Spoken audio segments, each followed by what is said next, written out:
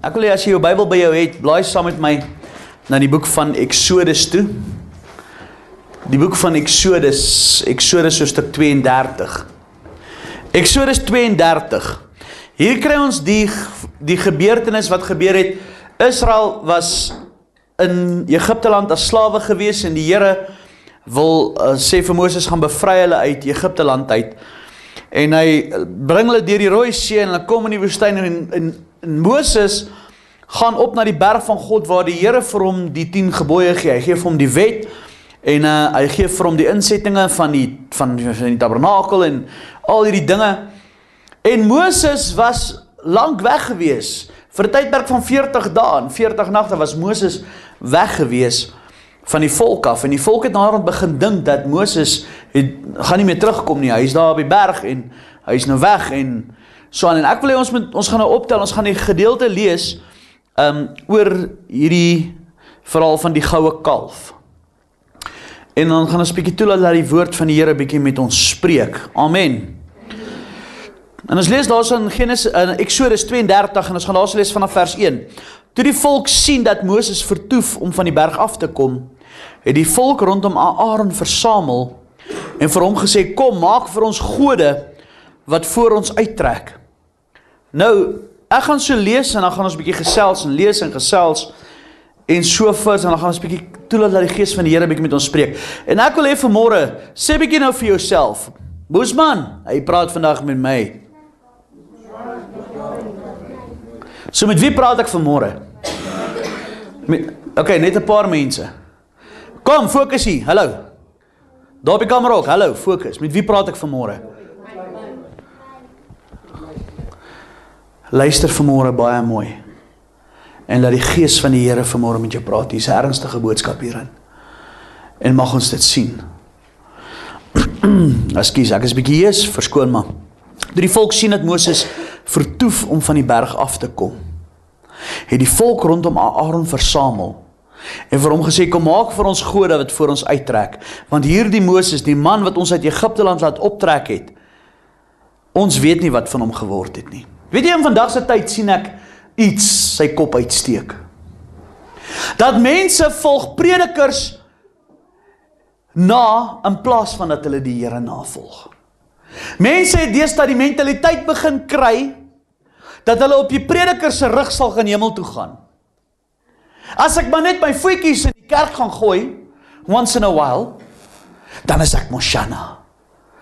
As ek mos maar net die geldjies gee vir die pastoor, dan sê ek Shanna. As ek mos net my deeltjie bydra, dan sê ek mos Shanna. Hierdie mense se fokus was verkeerd. Hulle fokus was eerstens op Moses. Hulle het verwag Moses is nou hulle leier en hulle het kyk wat gebeur. Toe Moses nie meer daar is om hulle te lei nie, wat gebeur? Hulle sê vir Aaron bring vir ons afgode. Weet jy wat? Hoeveel mense ek en hoeveel keer sien ek dit vandag nie? As die pastoor nie agter mense moet aanloop nie, dan raak hulle vinnig afvallig. Hy moet agter hulle aan soebat en smeek. Kom kerk toe. Kom bid hier toe. Dien die Here, lees jou Bybel. En dan vinnig raak hulle afvallig. Die oomblik wanneer die prediker maar bietjie terug staan sê, "Ry, luister hierso. Nou moet jy bietjie op jou eie twee voete staan." Dis jy vinnig hulle afvallig raak. Dan jaag hulle weer die gode van die wêreld na. Ek wil vir jou sê, 'n kind van God het nie nodig dat iemand agter hom aan moet loop om hom op te check om die Here te dien nie. Hoor ek vanmôre vir jou sê, 'n kind van God het nie nodig om opgecheck te word om die Here te dien nie. Hy sal die Here dien ongeag. Waarom moet predikers en kerke en gelowiges mekaar met lepeltjies die hele tyd voer? Ag kom nou dien nou die Here. Ag hou nou op om die wêreld te dien. Ag hou nou op om afvallig te wees. Dien tog nou net maar net die Here. Nee, wat doen hulle? Moses vertoef om te kom. Mense se fokus is verkeerd. Vers 2: Na Aaron sê vir hulle: Ruk die goue ringe af wat aan die ore van julle vroue en julle seuns en julle dogters is en bring dit vir my. Toe het die hele volk die goue ringe afgeruk wat aan hulle ore was en dit na Aaron gebring. Nou hou nou jou plek daar, maar nou nie jou jou plek nou weggooi nie. Gaan na Eksodus 12 toe. Ek wil vir julle wys waar het hulle die goud gekry. God het Israel uitermate geseën. Hoor nou baie mooi, hy het hulle uitermate geseën. Hulle was slawe in Egipte gewees. En met die en God tref die Egiptenare met die 10 plaae. En toe toe Farao uiteindelik sê laat hulle gaan. Wil ek hê ons gaan optel daar in Eksodus 12 vers 35. Kyk waar kom die goud vandaan? Eksodus 12 vers 35. En die kinders van Israel het gehandel volgens die woord van Moses. Hulle het van die Egiptenaars silwergoed en goue goed en klere geëis. So wie se goud was dit? Die Egiptenare se en hulle het gesê ons eis dit en God het dit in hulle hand gegee. God het vir hulle die guns gegee. Kyk vers 36. En die Here het aan die volk guns verleen in die oë van die Egiptenaars en die het hulle versoek ingewillig, so het hulle dan die Egiptenaars berowe. So hulle het basies van die Egiptenaars ek sal nie sê gesteel nie, maar hulle het dit opgeëis van die Egiptenaars af. Hulle was in slawerny vir soveel jare. En hulle het basies dit geklaim en gesê dit is ons ons claim wat ons het van die Egiptenaars af. En God het dit ingewillig. Hy het gesê, dis reg, ek staan daai daai daai versoek toe. En hulle het daai goud ontvang van die Egiptenaars af. En nou kom hulle in die woestyn en Aaron sê vir hulle: "Haal uit daai goue ringe, daai wat God vir julle mee gegee het." Nou hoor nou mooi uit die wêreld uit, uit Egipte uit. Uh, Egipte is 'n simboliek van die wêreld. Seën God hulle.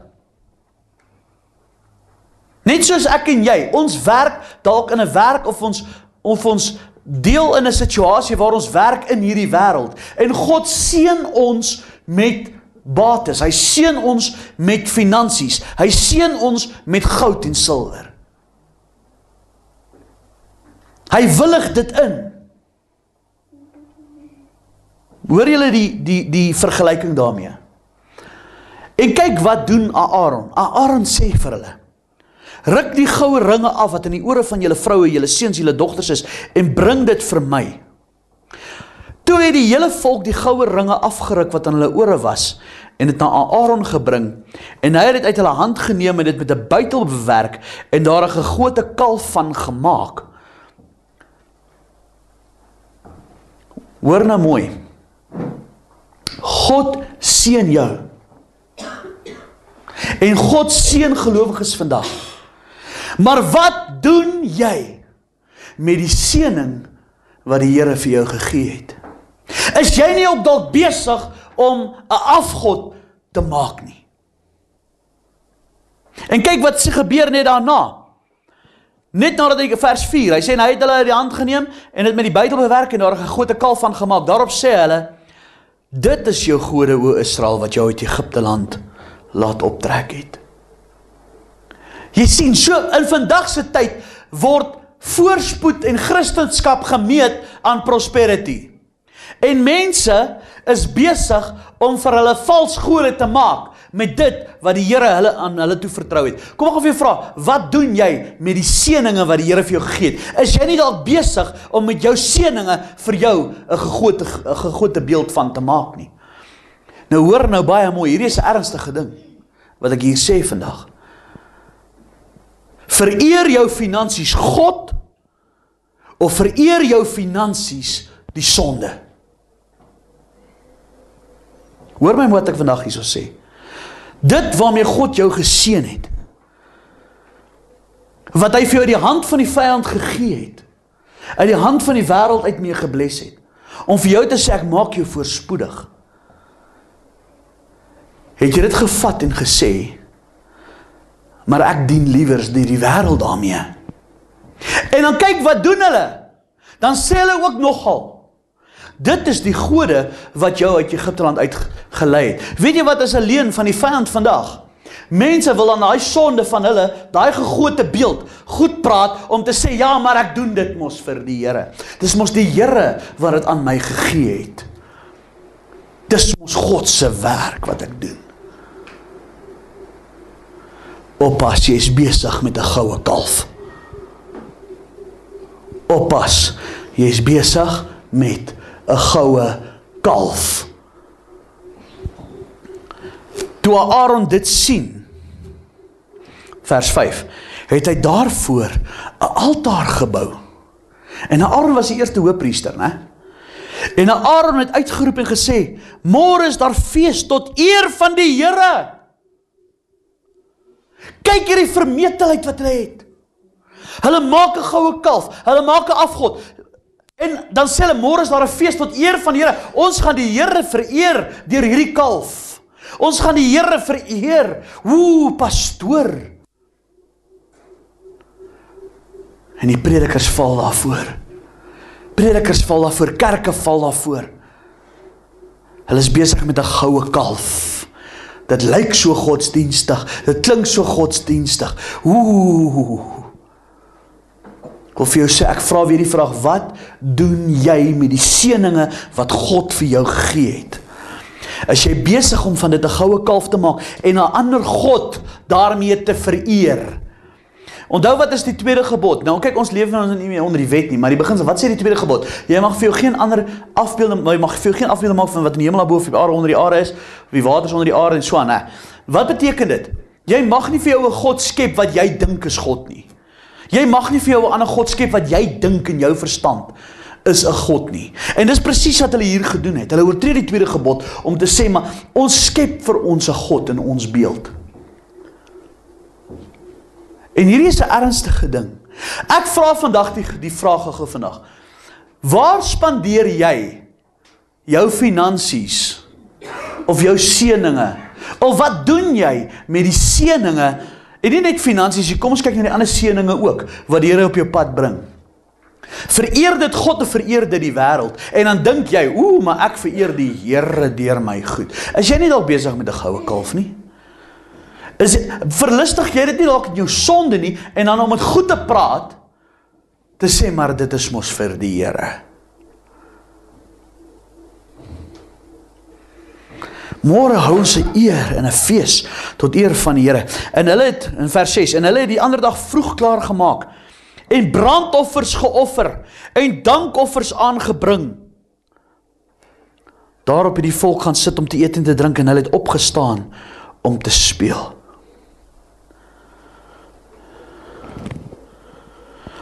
Vers 7. Toe sê die Here vir Moses. Nou Moses is nog op die berg. Nou hoor my mooi. Hierdie hele gebeurtenis wat plaasgevind het. God is met Moses besig op die berg. Hy gee vir hom die wet. Hy gee vir hom sy insettinge. Kan jy sien God was nie deel van hierdie plan nie. Ek wil vir jou vra, hoe deel is God van jou seëninge? Hoe deel is God van jou seëninge? Weet jy wat, kom ek gou vir jou sê, ek praat nie vanmôre net oor finansies nie. Ek praat oor seëninge oor die algemeen.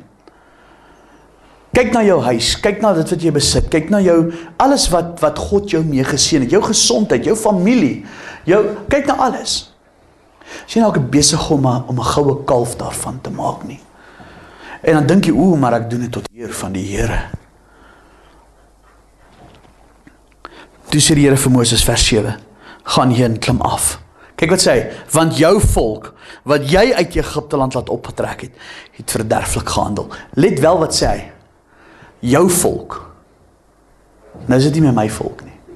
God sê jou volk wat jy uit Egipte laat trek het.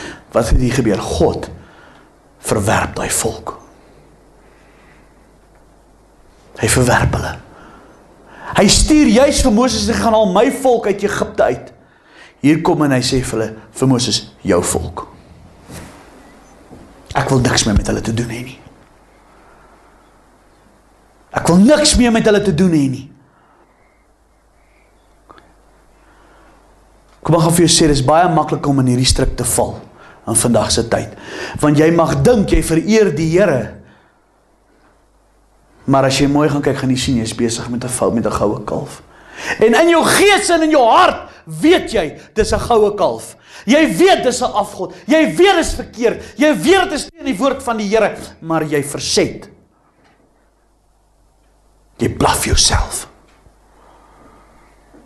Jy blaf jouself. Dan wil jy die Here die eer gee daarvoor. Kyk vers 8 en hulle het gou van my af weg afgewyk wat ek hulle beveel het. Hulle het vir hulle 'n gegote kalf gemaak en daarvoor neergebuig en daaraan geoffer en gesê dit is jou gode hoë straf wat jou uit Egipte land laat optrek het. Verder het die Here vir Moses gesê: Ek het hierdie volk gesien en kyk, dit is 'n hardnekkige volk. Weet jy wat is vandag se probleem? Die eie ek. Hardnekkigheid. Me myself and I. Ek wil die Here dien op my manier. Ek wil God dien op my manier.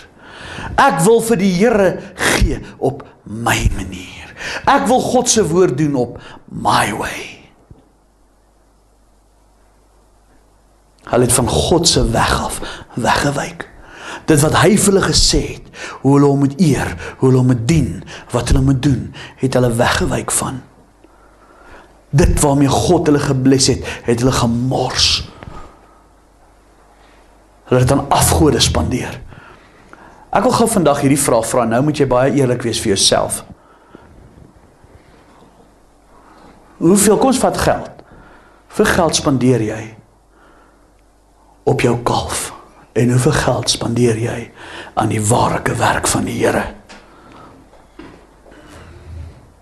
Kom ons plaas dit in 'n vergelyking. Vereer jou gawes werklik God? Of dink jy dit vereer God? Dan wonder ons so baie, maar Here, hoekom wil U my nie verder seën nie? Here, hoekom Kom ek gou vir jou sê, weet jy waarom kom waar kom ek ook aan hierdie boodskap vandag? Hierdie naweek het lyk my hierdie ek ek het nie hierdie voorberei nie. Dit is 'n gedagte wat nou by my opgekom het. Hierdie hele naweek sien ek hierdie ding.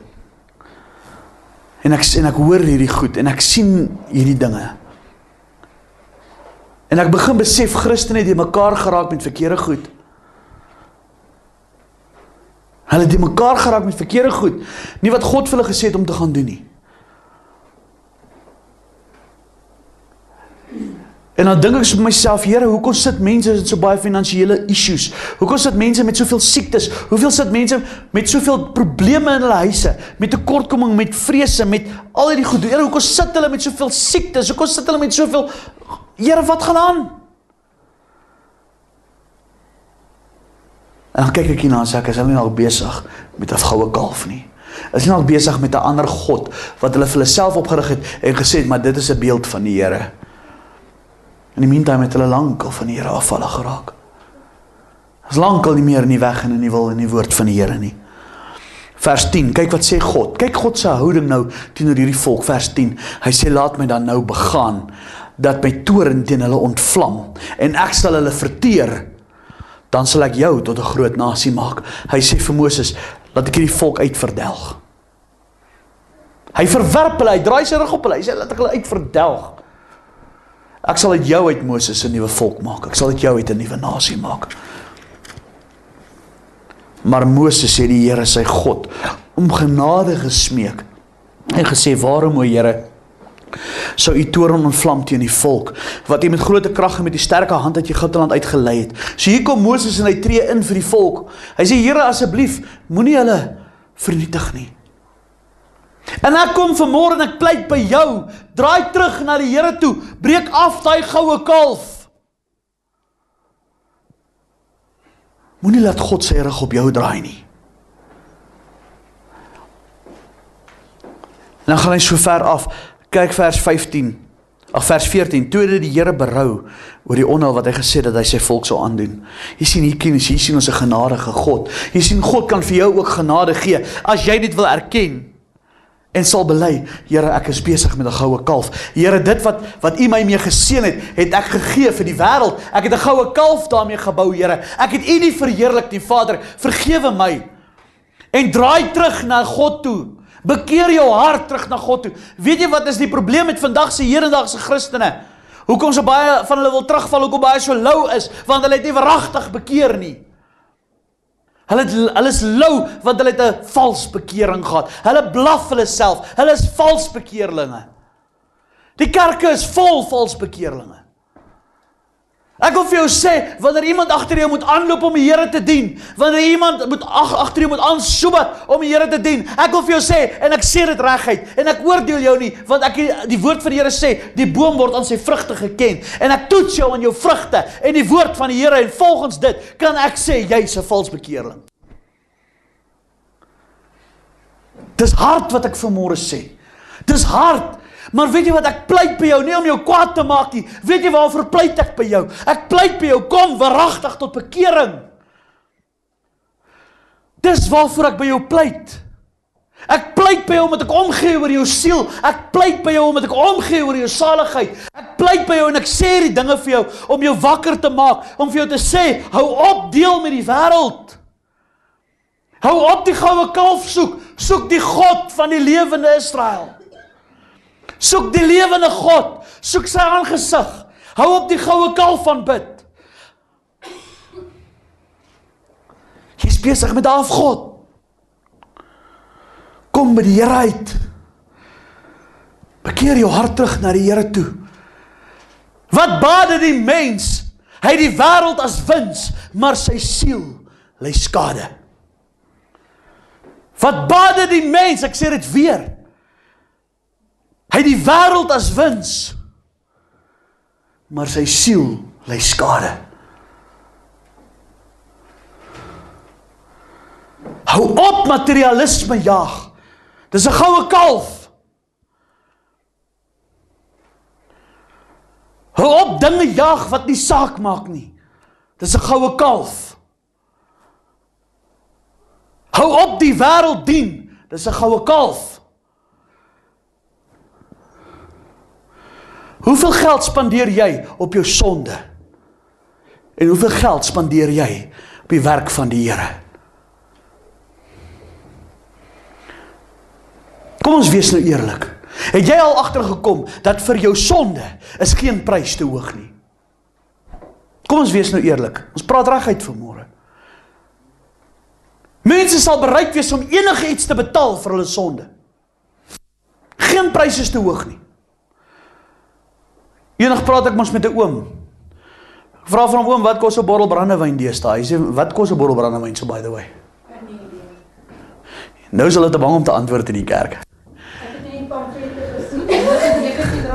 Sy maak dit duidelik in die pamflette gesien R119. Spice Gold. Dit is die brandewyn. Nou, Nou, sê sy 119 rand 'n bottel. Nou eendag praat ek met 'n oom, kom ons sien nou argumente dalk. Ek sê vir oom, wat kos 'n bottel brandewyn? Hy sê 119. Ek sê, "Jesus, lyk hom is baie geld." Hy sê my seun al was hy 500 rand, hy nog 'n bargain. Jy verstaan wat ek vir jou sê? Dis dis die punt wat ek probeer maak. Al kos jou sonde wat, geen prys is vir jou te hoog om te betaal nie. Weet julle wat, maar dan kom dit by die werk van die Here of dit kom by God se wy se werk. Weet jy wat, dan sit 'n dan sit 'n eil ding. En weet jy wat as mense besig om te onthou in die begin het ek mos gesê die heel eerste gedeelte wat gesê het mense loop agter predikers aan. En hier gaan ek ook nou so 'n ding aanspreek wat ek ook oor die naweek gesien het. Waar ek ook nou mos gespot het vir oggend. By die sien die advertensie van hierdie prediker wat adverteer, ek gaan sy naam ook sommer noem, TD Jakes. Wat adverteer vir hoeveel duisende rande kos hy sitplekke per persoon. Dis 'n jakkals man. Hy's 'n geldwolf.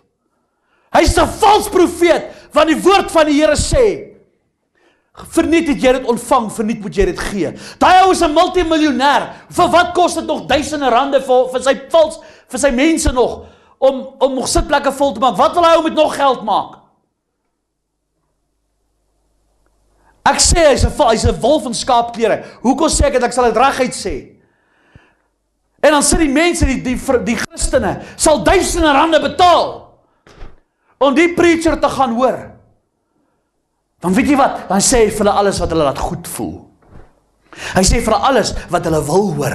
Hy's besig met 'n goue kalf man. Hy's 'n Aaron wat vir jou sê, "Bring jou goud en jou silwer en ek maak vir jou 'n goue kalf." Dit is jou gode Israel wat jou uit Egipte land uit verlos het. Bring van my jou silwer en jou goud. Ek sal vir jou 'n goue kalf maak. Dis wat hy besig is om te doen. Maar nee. Die Christen hardloop agter sulke goed aan. Mense moet 'n wake-up call vang.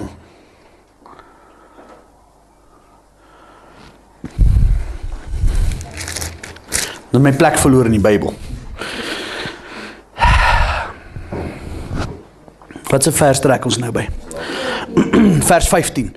En Moses het omgedraai en van die berg afgeklim met die twee tafels van die getuienis in sy hand. Tafels wat op albei kante beskrywe was. Hulle was op die een kant en op die ander kant beskrywe en die tafels was die werk van God. Die skrif is ook die skrif van God in die tafels gegraveer. Wow. Hier kom Moses van die berg af met die kliptafels wat deur God self gegee is. God se opdrag self. Wat 'n ervaring moes dit nie gewees het nie. Hoe moes daai volk nie net eintlik uitgesien het om die woord van die Here te ontvang uit God se eie hand uit nie, hè? Kyk hier so vers 16. Of waar is trek ons na vers 17? Vers 17 en toe Joshua die stem van die volk hoor, hoe hulle juig, sê hy aan Moses: "Daar is oorlogsgeraas in die laar." Wat probeer hy? Hy probeer wegsteek wat hy gedoen het. Hy probeer vir Moses sê, weet jy, hy wil nie vir hy wil hê Moses moet uitvind hulle is besig om 'n goue kalf te aanbid nie. Hy sê hy sê vir Moses, Moses, die volk is bly want hulle het hulle is vry uit Egipte uit. Hulle het die oorwinning gekry. Dis waar hulle bly is. Hy probeer wegsteek. Kyk vers 18, maar hy antwoord Moses antwoord hom: Dit is nie die geluid van die wat sing van oorwinning nie. Dis ook nie die geluid van die wat sing van neerlaag nie. Ek hoor die geluid van beerdsang. Wat sê Moses vir hom? Ek hoor hoe hulle 'n vals god aanbid. En toe hy na by die laar kom en die kalf en die koordanse sien, het die toorn van Moses ontvlam en hy het die tafels uit sy hande gegooi en dit onder die berg verbrysel. Hy het die woord van God gevat en stik gegooi. Want hoekom wat wil en dis dis baie keer wat ek lus voel om doen wat ek dit vir mense vra. Ek is baie keer ook lus en vat dit en verbrysel die woord van God. Hoekom? Sien my hart. Want wat help dit jy preek jou longe uit en mense luister nie.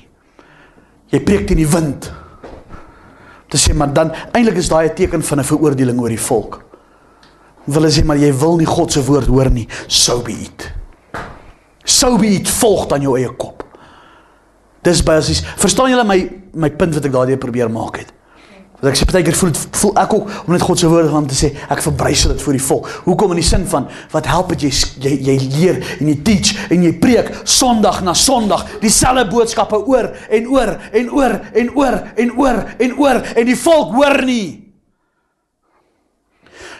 Wat noem julle my Here, Here? Maar julle doen nie wat ek sê nie. Jy's besig met 'n goue kalf, man. Jy's besig met 'n goue kalf. Begin die woord van die Here te doen. Hou op lui wees in Christendom, man. Hou op laks wees. God het nie slap Christene geroep nie. God het nie lui Christene geroep nie. God het jou nie geroep om 'n sitplek warm te sit nie, man. Hy het jou nie geroep om laks te wees nie. Hy het jou nie geroep om terug te val nie. Hy het jou nie geroep om terug te bly sit in jou sonde nie. Hy het jou nie uit Egipte bevry en vir jou gesê gaan sit daar en gaan dan bid 'n goue kalf nie. Waar is die profete van God? Waar is die manne en vroue van God wat sal opstaan en sal sê so spreek die Here?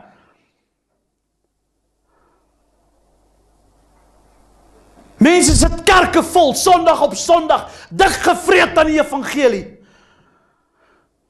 En buite lê die wêreld en verbrand. Daar's nood. Maar moet predikers nog agter hulle aanloop. Ek dink as God so kyk na vandag se wêreld, dink ek sê hy presies dieselfde wat hy vir Moses gesê het. Ek sal hulle verdelg. Kan jy sien? Kan jy sien waarom die 7 jaar van verdrukking kom? Kan jy sien waarom God met die 7 jaar van verdrukking hierdie wêreld gaan oordeel? Hoeveel grimmigheid moet God nog op opbou?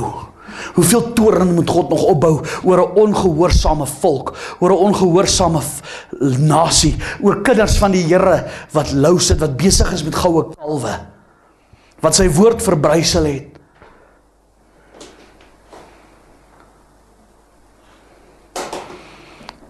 Wat ek vanmôre vir jou pleit. En by jou pleit is word wakker uit die slaap. Breek daai goue kalf uit, kom by die Here.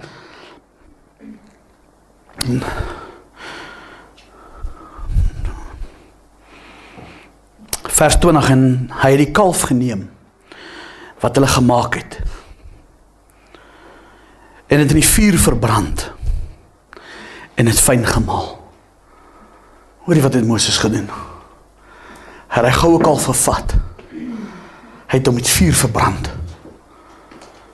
Hy het hom fyn gemaal. Laat niks van oorbly nie. En hy het op die water gestrooi. En die kinders van Israel het laat drink. Hoekom het hulle dit laat drink? Sodat hulle kan berou toon teenoor die Here. Laat hulle weer kan terugbekeer na God toe. Kan bely voor God, Here, ons het die weg verlaat. En Moses het vir Aaron gesê, kyk wat sê hy nou vir Aaron wat hom nou gebou het. Wat het hierdie volk jou aangedoen? Dat jy so groot sonde oor hulle gebring het. Weet jy wat, valse predikers vandag is people pleasers. Hoor my wat ek vandag sê. En ek gaan dit reguit sê vandag. Valse predikers vandag is people pleasers. Wat meer omgee om jou happy te sien en jou gelukkig te sien en jou gemaklik te sien sodat hulle besies kan dik word. Ek wil vandag vir jou sê as ek jou nie ongemaklik laat voel nie. As ek jou nie geïntimideerd laat voel nie. As ek jou nie laat voel soos 'n sondaar nie. En as ek jou nie as ek jou nie laat voel dat jy wil gaan bely voor die Here nie. En as ek jou nie kwaad gemaak het vir my nie, het ek nie my job gedoen nie. Maar sien my hart vanmôre. Ek doen dit nie omdat ek vir jou kwaad is nie. Ek doen dit nie omdat ek hard is op jou nie. Ek doen dit nie omdat ek nie omdat ek jou net wil kwaad maak. Ek dink jy dit is vir my lekker om mense kwaad te maak vir my. Dink jy dit is vir my lekker om mense teen my te hê? Dink jy dit is vir my lekker om mense te hê wat wat my afjag, wat my sleg sê? Weet jy hoekom doen ek dit? Omdat ek jou nie verlore wil sien nie. Ek wil nie sien dat jy van God se woord af wegwyk nie. En die hemele behoed my en die Here behoed my daartot. Maar solank so wat ek leef, sal ek nie omkoopbaar wees met die evangelie nie. Ek sal nie omkoopbaar wees met die evangelie nie. Die prys was te hoog. Dit het bloed gekos. Dit het bloed gekos. Ek sal nie 'n Judas wees en God se woord verdraai net om mense te laat goed voel nie. Ek sal nie vir jou 'n goue kalf bou nie. Want ek gaan eendag voor God moet rekenskap gee. Ek wil vir jou pleit vanmôre. Kom terug by die evangelie. Ah, waar is ons nou? Vers 22. Toe hy vra vir Aaron, "Wat het hierdie volk jou gedoen dat jy so groot sonde oor hulle gebring het?" Vers 22. Toe kyk wat antwoord Aaron hom. "Laat die toorn van my Heer nie ontvlam nie. U self ken die volk dat hulle deur deur en deur net sleg is en dat hulle aan my gesê het, "Maak vir ons gode wat vir ons uittrek." Jy sien wat doen hy? Hy's 'n people pleaser gewees. Hy's 'n people pleaser. He'll rather be popular than to serve God. Hy sal hy's bang vir sy eie skade weer man. Hy's bang dat die mense, hy's bang dat die kerkraad hom sal uitskop. Hy's bang hy sal sonder 'n werk sit. Hy's bang hy sal sonder 'n salaris sit. Hy's bang. En weet jy hoeveel kerke is daar vandag net in die week? Praat ek met iemand. Hoeveel kerkrade is daar en hoeveel kerke is daar? Die oomblik wanneer die prediker begin preek en te sê bekeer julle en die wêreld bietjie warm maak, dan die kerkraad hom uitgegooi. Ek wil vir jou sê, jy ou ouderling en kerkrade, ek wil vir julle sê vandag, bekeer julle. Ek werk nie vir 'n kerkraad nie. Ek werk nie vir 'n kerk nie. Ek werk vir Jesus. En ek sal sê, so spreek die Here. En jy kan my nie fire nie. Want ek werk vir die meester. And if you don't like it, it's your problem. Maar hoor wat ek vandag vir sê, predikers moet ophou om die wêreld te dien, om bang te wees, maar wat van my ou pensioentjie? Weet jy wat? As ek God moet verloon van my pensioen, dan bly ek liewerste sonder. Dan vrek ek liewerste van die ellende. Maar wat gaan ek doen sonder 'n salaris? Man, dan sit ek langs die dam en ek eet brood en water soos Elia, maar ek sal my God nie verloon nie. Ek wil sommer 'n bietjie daar op die op die op die DVD sommer nog 'n ander ding aanspreek. Met sekere gemeentes. Hoor ek mos nou die ding. Ja, die die pastoor moet in geloof lewe. Die Here moet vir hom sorg. Ehm uh, kerkraad, luister 'n bietjie baie mooi. Daai pastoor het jy sy job gelos om in geloof te lewe om jou te bedien. Dis juist deur geloof wat hy genoem, hoeveel geloof moet hy nog hê? Dis jou werk om hom te kyk. Weet julle wat nê?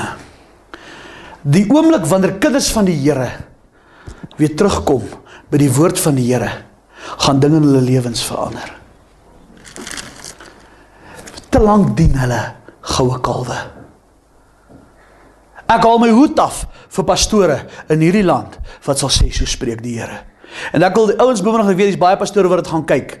En ek wil ek wil hulle vandag bemoedig hou aan om te sê so sê die Here. Moenie terugdraai vir die woord van God nie. Die Here sal jou dra, die Here sal jou deurvat. Maar moenie moenie soos Aaron 'n goue kalf maak nie. En ek wil vir die gemeentes vra daar buite en hier ook, wil ek vra moenie verwag dat Aaron vir julle 'n goue kalf moet maak nie. Aanbid die Here, dien die Here van die leerskare. Moenie goue kalf maak nie. Goed, ons gaan amper klaar maak. Maar kyk wat antwoord Aaron hulle. Toe laat die toorn van die Here vers 22 my nie ontvlam nie. Here Jeself ken die volk dat hulle deur en deur het sleg is. Hulle het dan aan my gesê: "Maak vir ons gode wat vir ons uittrek, want hierdie Moses, die man wat ons uit Egipte land laat optrek het, ons weet nie wat van hom geword het nie." Kyk nou wat sê vers 24, wat sê Aaron vir hom? Daarom het ek hulle geantwoord: "Wie goud het laat die afruk en hulle het dit aan my gegee en ek het dit in die vuur gegooi en hierdie kalf het daaruit gekom." Hy sê hulle sommer die kalf het sommer self uitgespring. Boem. Hoor wat ek vandag vir jou sê. Dis wat valse predikers doen.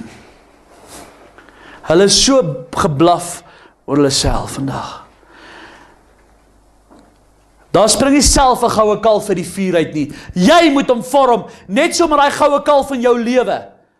Daai goue kalf wat in jou lewe is waarop jy jou seëninge so uitmors wil ek vir jou sê, daai ding het nie self net ontstaan nie. Jy het gekies om hom te bou. Hoor my mooi. Jy het gekies om hom te bou. Jy het hom gekies en jy het hom gemaak met jou eie hande. Daai goue kalf is 'n afbeeldsel van jou eie handewerk. Jy het hom so gebou. Moenie vir my sê Maar pastoor, ek sit vas in hierdie sonde nie. Dis 'n keuse. Dis 'n keuse. Hoor wat ek vandag vir jou sê. Dis 'n keuse. Dis nie 'n struggle nie, dis 'n keuse. Jy bou daai goue kalf. Jy wil net nie vrykom nie. Jy wil net nie werklik breek met daai goue kalf nie. Dis 'n keuse. Vrye wil. Vers 35. Toe Moses sien dat die volk bandeloos was, want Aaron het hulle bandeloos laat word tot leed vermaak onder hulle teestanders. Het Moses in die poort van die laar gaan staan en gesê: "Wie vir die Here is, kom na my toe."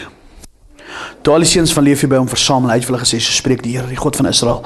Laat elkeen sy swaard aangord en sy heup gaan aan heen en weer die poort van poort van die laar. Laat elkeen sy broer, elkeen sy vriend en elkeen sy naaste doodmaak." En die seuns van Leefi het gehandel volgens die woord van Moses. En daar het van die volk op die dag omtrent 3000 man geval. 3000 mense wat dood is as gevolg van 'n goue kalf wat teen die Here gekies het. Ek wil vir jou sê vandag, as jy die goue kalf wil dien, gaan dit op die einde van die dag jou dood beteken want die loon van die sonde is die dood. Jy sal geestelik sterf sonder God. Jy sal jou siel verkoop vir 'n pot lensiesop. Ek wil vir jou sê moenie so word nie. Verwyder daai goue kalf uit jou lewe uit. Breek daai goue kalf af. Bekeer jou hart opreg terug na die Here toe. Dien God omdat hy God is. Omdat sy woord waar is. Vereer die Here uit jou goed. Moenie laat jou goed vir jou 'n goue kalf word nie. Hoor julle wat ek vandag sê? Ek preek hierdie goed vandag. Hoekom? Hoekom? Weereens omdat ek omgee oor jou siel en om jou saligheid. En ek weet baie mense raak vandag vir my kwaad. Ek voel 'n vuur wat my kwaad raak. Jou kwaad en 'n klein hondjie se blaf is presies dieselfde. Ek het vir jou vandag gesê wat sê God se woord.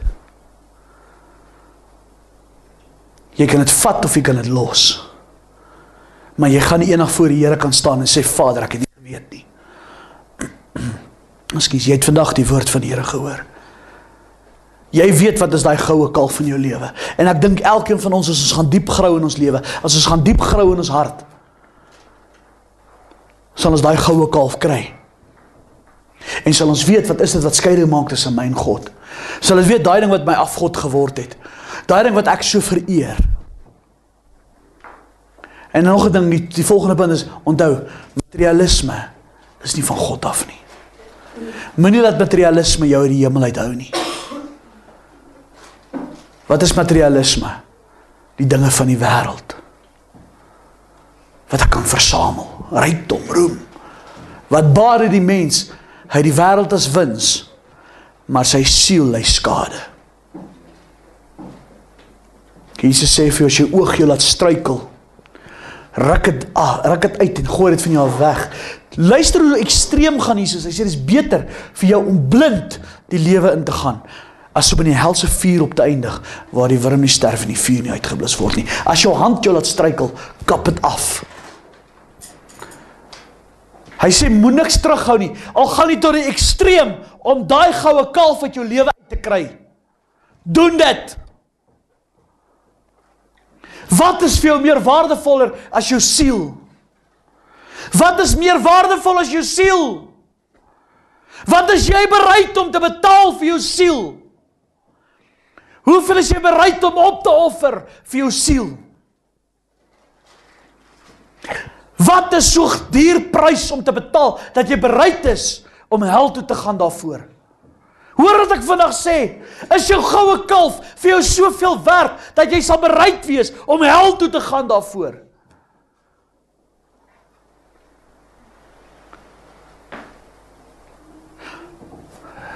Ek pleit by jou vandag. Moenie toelaat dat die goue kalf jou laat doodgaan nie. Moenie toelaat dat daai goue kalf jou wegvat van God af nie. Kom by die Here uit voor dit te laat is. Amen. Kom ons lê daar Vader. Ek wil U dank vir die woord vandag Vader. Here, dit was wel 'n harde woord, maar Vader, ek bid dat hierdie woord sal rema word in ons harte. Here, ek bid dat hierdie woord sal val op vrugbare grond. Here, ek wil bid dat predikers van daar buite is wat ook nog vandag na hierdie boodskap geluister het, Here, dat U hulle sal bemoedig. Dat hulle sal bly by die prediking van die woord. Dat hulle nie sal kyk na kerke en na kerkrade en wat mense vir hulle sê nie, Vader, maar dat hulle by u woord sal bly. Vader, ek wil bid vir elke pastoor, elke dominee, elke prediker daar buite wat vanmôre die behoefte het om te sê, Here, ek sta, ek is een van hierdie mense soos Moses wat sien hoe ek vervolg word as gevolg van die prediking van die evangelie. Wil ek bid Here dat U hulle sal krag gee, dat U hulle sal dra. Here dat U vir hulle sal voorsien, Here, dat U vir hulle die deure sal oopmaak, Here. Ek bid vir elke bedienaar in hierdie land, Here, dat hulle sal opstaan om te spreek, so sê die woord van die Here. Dat hulle nie sal terughou nie, Here. Raak hulle lippe aan met kole van vuur, Vader. Ek wil bid Here vir elke kerk wat nog staan vir die waarheid, wat nog staan vir die woord. Here, bless hulle finansies, Vader. Bless hulle gemeente, Here. Seën hulle predikers, Vader. Here, ek spreek vandag lewe oor elke gemeente wat staan vir die woord. Enige denominasie wat nog staan staan by die woord, Here, seën ek vandag in Jesus naam. Maar Vader, ek bid vir die valse predikers wat so die woord verdraai en vals kerke wat people pleasers is, Here. Dat U hulle sal expose, Here. Dat U hulle sal openbaar maak, Vader. Laat die mense se skille van hulle oë sal afval en hulle sal sien, Here, dat hulle predikers is besig om hulle hel toe te vat. Vader, ek wil bid dat U elkeen van hulle sal aanraak in Jesus naam. Ek wil bid dat U elke persoon wat hierdie boodskap gehoor het, Here sal seën dat hulle U woord sal nakom, Here. Laat hulle u woord sal glo en sal bly vashou, Here. In die naam van Jesus Christus bid ek dit. Hou ons staande in hierdie laaste dae, Here, dat ons nie 'n goue kalf in ons lewe sal laat opkom nie, maar Here dat ons sal getrou bly by u woord.